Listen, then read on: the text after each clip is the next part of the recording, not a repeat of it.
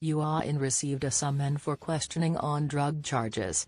On February 27, the Drug Crime Investigation Unit of the Seoul Metropolitan Police Agency, MFDS, compared and analyzed the propofol prescription status and actual medical records of Yua In from the Ministry of Food and Drug Safety.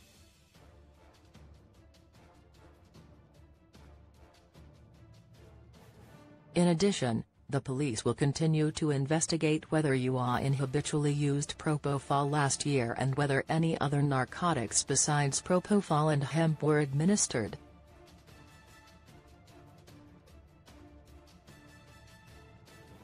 Recently, Yua In was suspected of habitual use of propofol.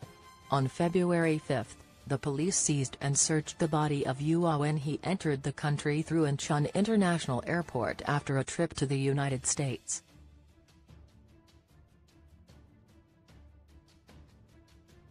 A urine test was conducted, hair was also collected, and analysis was requested from the National Institute of Scientific Investigation.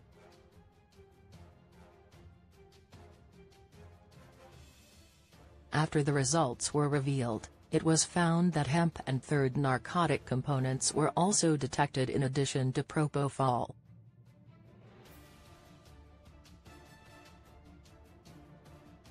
In response, the police plan to secure Yua In's cell phone and summon him as a suspect for investigation as soon as the digital forensic results are released.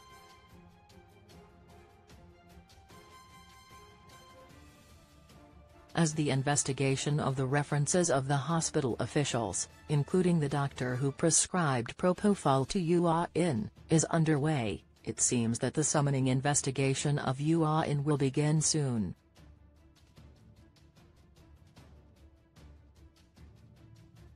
It has been revealed that Yua In took propofol a total of 73 times from January 4, 2021, to December 23 of the same year, the public's attention is also focused on the issues to be revealed in the additional investigation.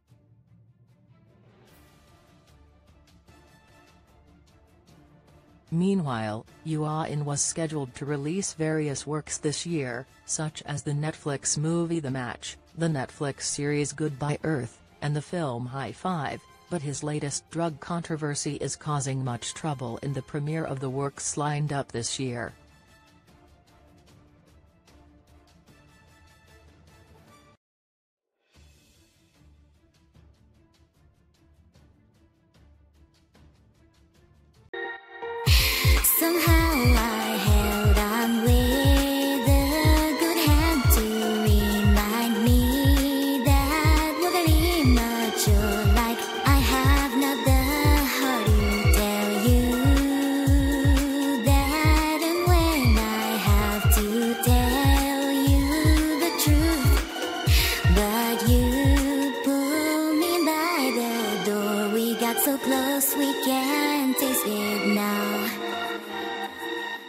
来。